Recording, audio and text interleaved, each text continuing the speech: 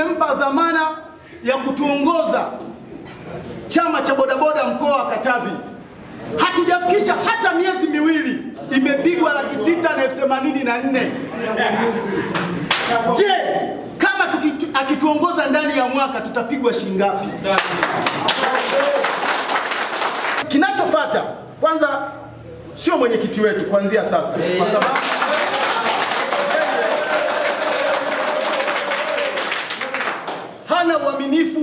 na sisi, hata mapendo na sisi yana. Alikuja kwa ajili ya maslahi yake.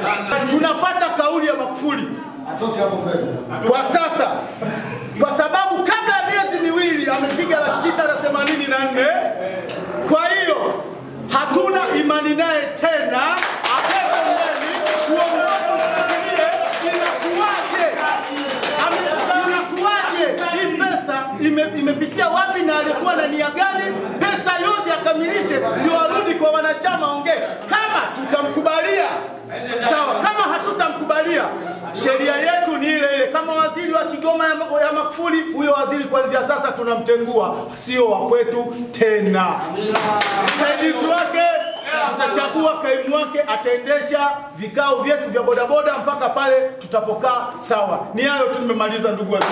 Ndugu zangu wajumbe, mjue kabisa pale ukikaa ukitegemea kwamba ukapate pesa utatupotezea malengo yetu ambayo tunataka katika chama chetu cha bodaboda.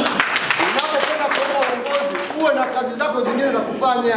Sisi hili swala hatuwezi kulikubali, na hiyo meza kuu, nataka niseme tu kwamba mnachotaka kukifanya hatuwezi kubali. Huyo bwana saa hizi sio mwenyekiti. Mwenyekiti gani unakuwa mwizi? Haya, hizo pesa aliziweka wapi? Mpaka mkuu akiongea kurudisha aliziweka nyumbani kwake au aliziweka wapi? Ana akaunti ya benki wewe. Unaweka hela wewe nani? Majukumu hayo ni majukumu ya katibu. Haya, unaondoka wewe hapa sasa. Unakwenda Sumbawanga. Wewe Hayo maamuzi alikuwa anasema mahakama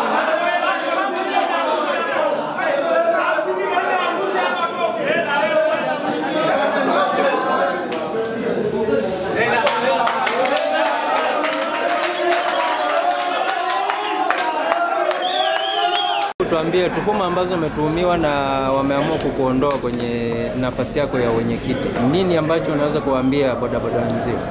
Uh, Kwa majina anaitwa Isaac Daniel Joseph, mwenyekiti wa bodaboda mkoa wa Katavi. Ndio? Ah, Kulingana na tuma ambazo nimeletewa, kwanza kwangu ni ajabu kwa sababu wakati tumekaa kikao katika ukumbi wa Garden. Tulikaa na mwenyeviti na ma- wa maegesho na makatibu, lakini wakati tumekaa katika kikao kile tulikaa tukakubaliana ni namna gani ambavyo taasisi yetu au tasnia yetu tunaweza tukaiwezesha katika hatua moja au nyingine. Tukakubaliana kutengeneza rasimu ya katiba na tuliunda kamati ya watu 11 na sisi viongozi tukiwemo watu 15, lakini katika kamati ile alikuwepo mwenyekiti wa kamati na katibu wa kamati ambao kimsingi katika, katika kikao hiki hawapo wala wajumbe wa kamati ile hawapo. Lakini nikiwa safari, mwenyekiti wa kamati ile wa katiba alinipigia simu akanieleza kwamba tayari amemaliza rasimu ile ya katiba na iko tayari, na tayari moja kwa moja rasimu ile nilipofika nimekabidhiwa na nimewasilisha kwa wajumbe, ambapo ni michango ile iliyochangwa ya wajumbe. Kilichotokea hapa ni nini?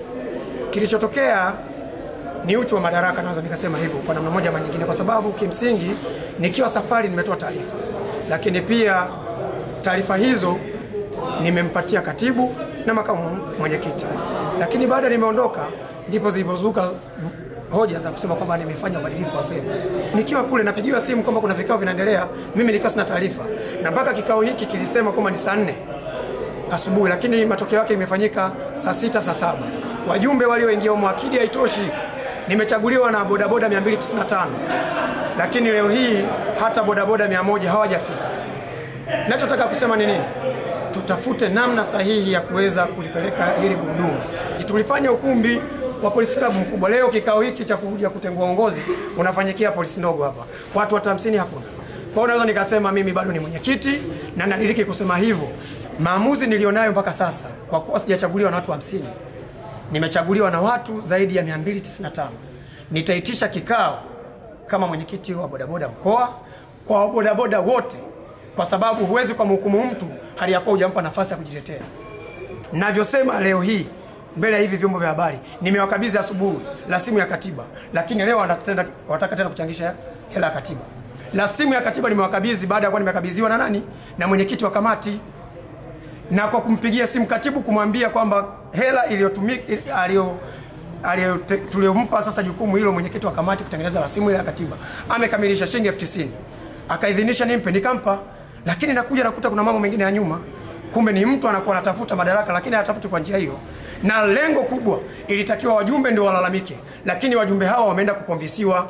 Hakuna mjumbe aliyeandamana wala hakuna mjumbe anayejua kwamba nini kinaendelea.